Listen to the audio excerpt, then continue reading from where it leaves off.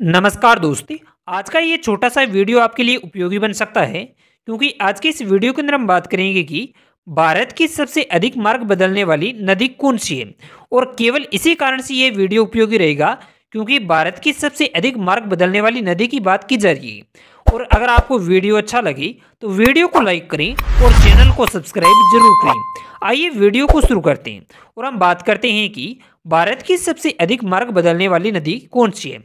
Option A Krishna नदी option B Brahmaputra नदी option C Kosi नदी ऑप्शन डी गंगा नदी तो दिए गए ऑप्शंस के आधार पर बताइए कि भारत की सबसे अधिक मार्ग बदलने वाली नदी कौन सी है?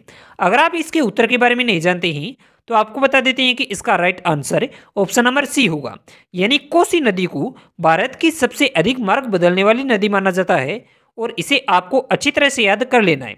तो एक बार आप भी हमारे साथ दोहराएँ कि भारत की सबसे अधिक मार्ग बदलने वाली नदी कोसी नदी है। अगर आपको जानकारी पसंद आई हो तो वीडियो को लाइक करें और चैनल को सब्सक्राइब ज़रूर करें।